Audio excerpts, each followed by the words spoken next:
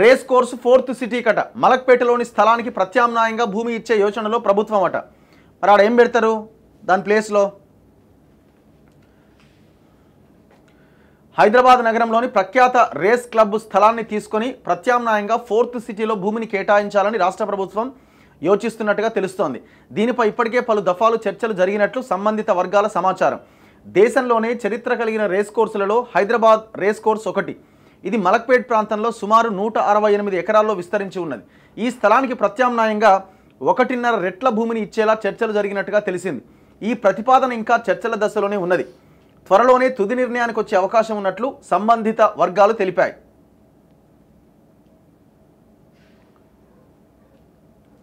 దీంతో పాటు అంబర్పేటలో శిథిలావస్థలో ఉన్న సిటీ పోలీస్ లైన్ క్వార్టర్ల భూమిని సైతం తీసుకొని ఈ రెండింటిని అభివృద్ధికి ఇవ్వడం ద్వారా వచ్చే నిధులను మూసి ప్రక్షాళన ప్రాజెక్టుకు వినియోగించాలని ప్రభుత్వం ఆలోచిస్తున్నట్టు విశ్వసనీయ వర్గాలు తెలిపినాయి. అంటే నాకు అర్థం కాలే. ఈ రెండు స్థలాలని అభివృద్ధికి ఇవ్వడం అంటే ఏంటి? ఇప్పుడు రేస్ కోర్స్ స్థలము నూట అరవై ఎనిమిది ఎకరాలు. ఇది కూడా దగ్గర దగ్గర చాలా పెద్ద ఎత్తునే ఉంటుంది. అంటే దగ్గర దగ్గర ఒక రెండు వందల మూడు వందల ఎకరాలు. ఇంటూ ఎంత? వంద కోట్లు ఎక్కడ? వంద కోట్లు ఇంకెక్కువనే ఉంటుంది. ఇంకా అది ఆ- కాస్ట్ మనం చెప్పలేము మరి ఎట్లా ఎవరైనా ఒకరికి వేలం వేసి అమ్మేసి దాని ద్వారా వచ్చిన నిధులని వాడతారా? అవసరం లేదండి. మీరు ఒకవేళ కనుక ఈ ఈ రేస్ కోర్సుని తీసుకుపోయి ఫోర్త్ సిటీలో ఇంకో సిటీలో పెట్టాలన్న ప్లాన్ చేస్తే ఆ నూట అరవై ఎనిమిది ఎకరాల్లో ఏమైనా హాస్పిటల్ కట్టొచ్చా? ఏమైనా స్కూల్ కట్టొచ్చా? ఇంకేమైనా చేయొచ్చా? అన్న ఆలోచన చేయండి. ఎందుకంటే నగరం నడిబొడ్డున ఉన్నది అది. దాన్ని మళ్ళీ మీరు అమ్మేసి ఇంకో కాంట్రాక్టర్కి ఇచ్చేసి దాన్ని ఇంకో దానికి ఇచ్చి దాని ద్వారా వచ్చే డబ్బులు మేము తీసుకుంటాం ఇంకో దానికి ఖర్చు పెడతాం అంటే ఎట్లా? పోనీ మీరు పెట్టే ఖర్చు ఏమైనా స్కూళ్ళకో హాస్పిటల్కో కాదు కదా ఫోర్త్ సిటీ కోసం ఇంకో దానికోసం పెడతారట. మరి ఇది మూసి ప్రక్షాళన కోసం పెడతారట.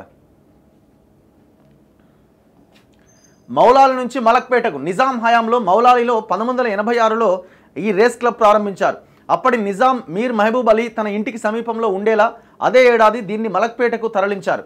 సికింద్రాబాద్లో నైన్టీన్ సిక్స్టీ వన్లో ఏర్పాటైన హైదరాబాద్ రేస్ క్లబ్ మలక్పేట్లోని రేస్ కోర్సు భూమిని కొనుగోలు చేసి పంతొమ్మిది వందల అరవై ఎనిమిదిలో అక్కడి నుంచి కార్యకలాపాలు చేపట్టింది. రేసింగ్ శిక్షణ ప్రొఫెషనల్ క్వార్టర్లు పార్కింగ్ ఇలా అన్ని సదుపాయాలు కల్పించింది. అనంతరం జాతీయ స్థాయిలో పోటీల ద్వారా గుర్తింపు పొందింది. గత ఐదు దశాబ్దాల్లో ఈ ప్రాంతం అనూహ్యంగా విస్తరించింది. ఓల్డ్ సిటీలోని రద్దీ ప్రాంతం మధ్యలో ఇది ఉన్నది. ప్రస్తుత పరిస్థితుల్లో ఈ రోస్ ఈ రేస్ కోర్సును మహానగరం బయటికి తరలిస్తే మరింత విస్తరణకు మరిన్ని సదుపాయాల కల్పనకు అవకాశం లభిస్తుందని ప్రభుత్వం భావిస్తోంది. దీని భూమిని తీసుకొని ప్రైవేట్ సంస్థలకు డెవలప్మెంట్కి ఇవ్వాలన్నది ప్రభుత్వ ఆలోచనగా తెలుస్తోంది. ఇదే అంశంపైన race club chairman r Surender Reddy ఇతర ముఖ్యులతో ముఖ్యమంత్రి రేవంత్ రెడ్డి చర్చించినట్టుగా తెలిసింది.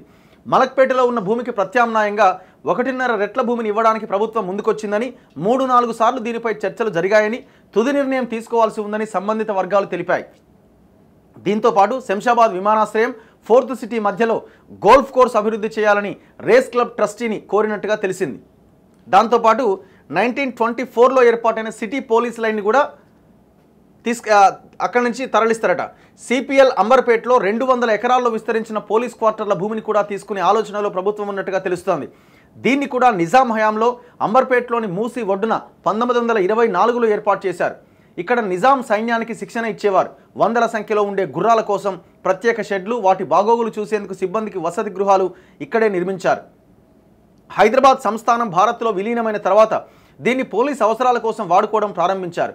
ఇందులోని నూట ఎనభై ఎకరాల్లో సిపిఎల్ అంబర్పేట్ సిపిఎల్ అంబర్పేట్ ఇరవై ఎకరాల్లో పోలీస్ శిక్షణ కాలేజ్ ఉన్నాయి. దీన్ని ఏర్పాటు చేసినప్పుడు అదంతా నగర శివారు. ప్రస్తుతం హైదరాబాద్ పోలీస్ విభాగానికి గుండెకాయ లాంటిది. ఉమ్మడి ఆంధ్రప్రదేశ్గా ఉన్నప్పటి నుంచి కొత్త డీజీపీ ఎవరు బాధ్యతలు చేపట్టినా గౌరవ సూచకంగా ఉదయాన్నే ఇక్కడ పరేడ్ నిర్వహించడం ఆనవాయితీగా వస్తోంది. జిల్లాలకు రిజర్వ్ దళాలు ఉన్నట్లుగానే సిపిఎల్ను కూడా హైదరాబాద్కు రిజర్వ్ దళంగా వాడేవారు. ఇక్కడి పోలీస్ క్వార్టర్లు పూర్తిగా శిథిలమయ్యాయి. వినియోగించుకునే స్థితిలో లేవు. ప్రస్తుతం Rachakonda police transport organisation Hyderabad తూర్పు మండలం కార్యాలయం వంటివి ఇక్కడ పనిచేస్తున్నాయి. డీసీపీ కార్యాలయం తప్ప మిగతా వాటిని మేడ్చల్లోని పోలీస్ శిక్షణ కాలేజీలకు తరలించాలని ఇప్పటికే నిర్ణయించారు. మిగతా కార్యాలయాలు కూడా మార్చబోతున్నారు.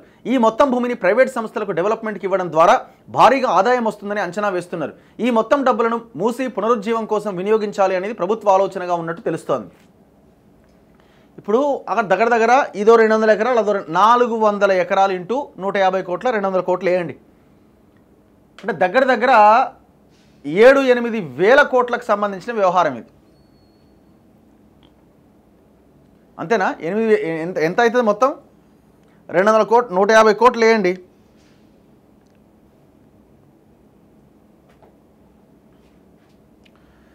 నాలుగు వందల ఎకరాలు ఇంటూ నూట యాభై.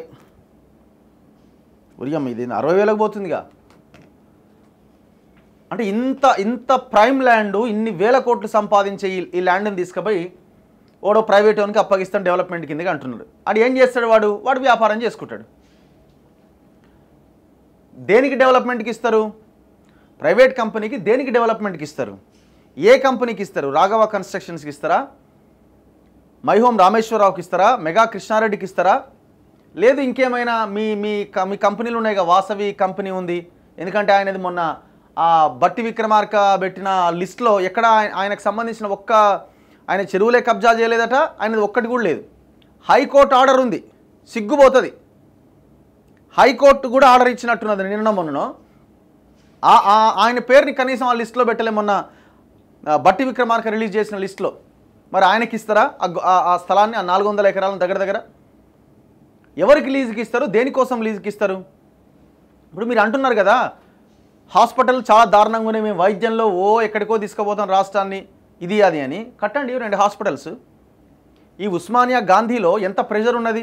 చిన్నపిల్లల ఆసుపత్రి కట్టండి. నీలోఫర్కి ఒక్కసారి వెళ్ళి చూస్తే ఒక్కొక్క బెడ్ మీద ముగ్గురు నలుగురు పడుకొని ఉంటారు.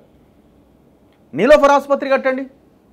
క్యాన్సర్ ఆసుపత్రి అక్కడ రోగులు పాపం రోడ్ల మీద బెడ్లు దొరక్క ట్రీట్మెంట్ సరిగ్గా అందక చచ్చిపోతూ ఉంటారు అక్కడ.